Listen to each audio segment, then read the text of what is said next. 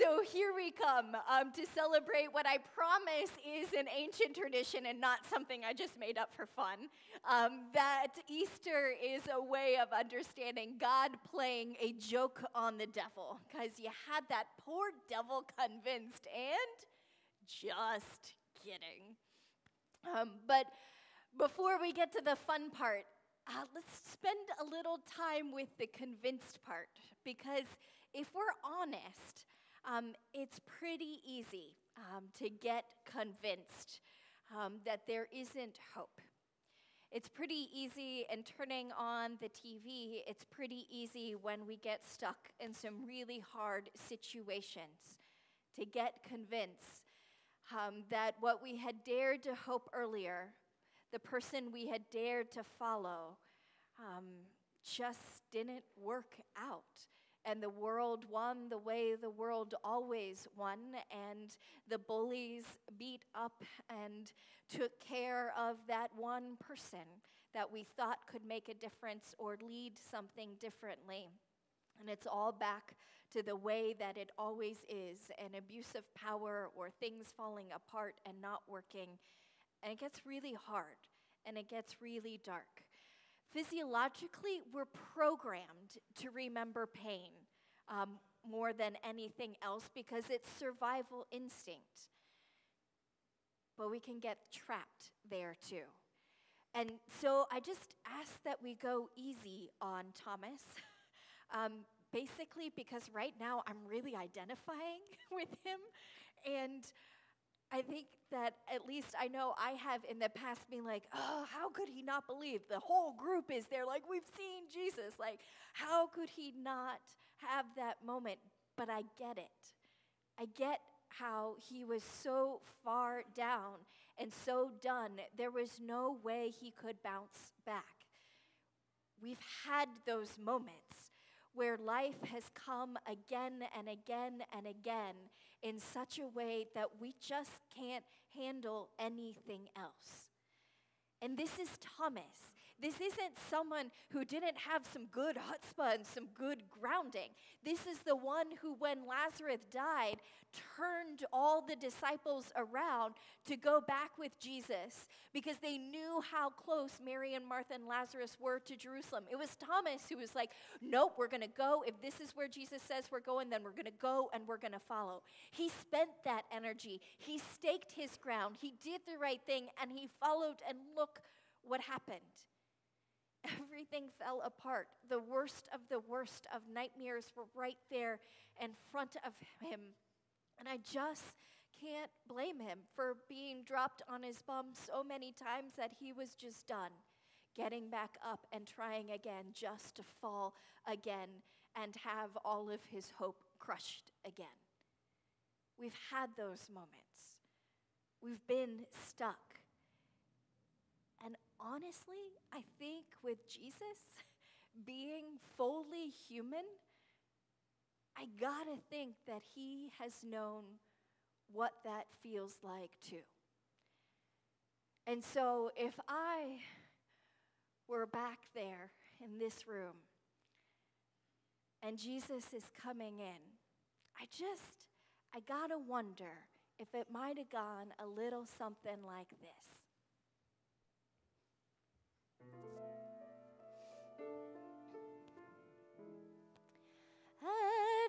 First, I was afraid, I was petrified. Kept thinking I would never break outside those gates of hell. I gave my life for you and for all those trapped here true, and I broke free. And now it's time for victory, cause now I'm back from outer space. Just walked in to find you here with that sad look upon your face. I thought I told you so direct. I thought I made you say it back uh, that I'd be gone for just three days. But then the whole world's gonna change. Go now, go. Walk out that door. Turn around now, cause this fear ain't welcome anymore. The world had thought it done its best. That day it thought it won it all. The day I crumbled. The day I laid down and died, well, that's done. And I'm alive. Oh, as long as I know how to love, I know I'll be alive. I've got all my life to live. I've got all my love to give. I'm gonna survive. I am alive. Hey, hey. Cause now I'm back. I just walked in to find you here with that sad look upon your face. I thought I told you so direct, but fear has made you all forget that I'd be gone for just three days. And then the whole world's gonna change, so let's go. Walk out the door. We're turn around now. Cause fear ain't welcome anymore. World had thought it done its best. The world had thought it wanted all. The day I crumbled, the day I laid down and done, well, that's done. And I'm alive. And I know all I got, I'll stay alive as long as I got love left to give, because I've got all my life to live. I've got all my love to give, and I'll survive. I am alive. Hey, hey.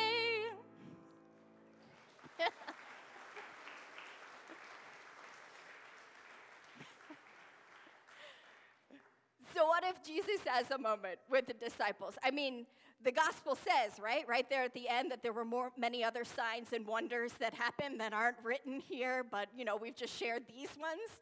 Maybe there was a disco party. Maybe. We don't know. But what we do know is that fear was transformed into joy, and disciples that were huddled in a room, and Thomas who just couldn't get up again ever and do one more step found new power and found new life. And that's our witness. This is what we are called to testify to. Because, yes, we have dark days, and some of us, the liturgical season isn't lining up nicely. And for as, all, for as much as we've just celebrated new jobs and new babies, there are others who are still in the throes of their dark night and who are the Thomases that are stuck and can't do one other step because they have given absolutely all they have to give. But that's the Easter resurrection promise that there is more, that there is a Savior who broke the gates of hell and who came back and who won the victory. And so we go and we deal with these dark nights, but we deal with them and the promise of faith and of hope and of life and of joy that is ours. That we know who has won the war. We are soldiers fighting this battle, knowing that the victory is ours. And so we take that courage, we take that survival, and we bring that into where we are now into the battles that we are facing now so that we have the courage. We can fight in such a way that we know that we will win, that we know that things will work out because we have, you know, a Gloria in Jesus who will walk back disco style and talk to us about being able to survive, about knowing that there is love and that as long as we have love to give, that we will be alive. That is the word of hope that we so desperately need. And friends, that's why we do this together. So that when each of us are trapped in our dark nights, there can be somebody else who reminds us and keeps us centered and in Easter resurrection, a group of disciples and friends who surround us and say, You might not be able to see Christ's hands and to touch everything, but we promise that we have seen the Lord. We promise that something is happening and something is changing, even if you can't see it or feel it right now. And we have a Savior who is back, who has come as a conquering victor and who loves us enough to take the time to come and show us his hands and his feet, and to help us get back up again, to breathe into us the power of the Holy Spirit. So that we can stand again, so that we can walk freely again.